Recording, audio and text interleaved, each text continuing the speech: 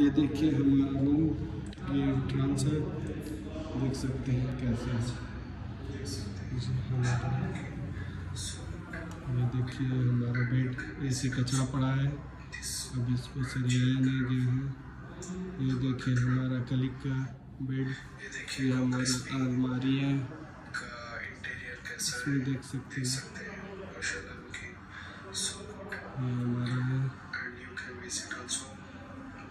ये बस खाने का रखा हुआ है।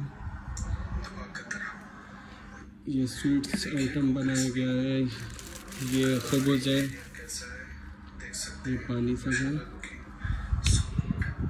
ये देखिए बाथरूम ये देखिए बाथरूम है। ये